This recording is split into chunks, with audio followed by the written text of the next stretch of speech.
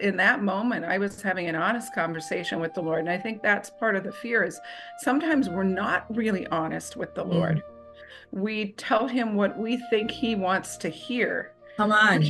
Yes. so silly because he knows it, you know. I know.